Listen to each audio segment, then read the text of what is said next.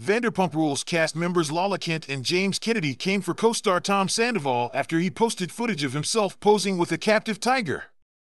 I am appalled by the photo my cast member took with a tiger in captivity, Kent wrote via her Instagram story Wednesday. What is disguised and fun and cool is, in fact, animal abuse.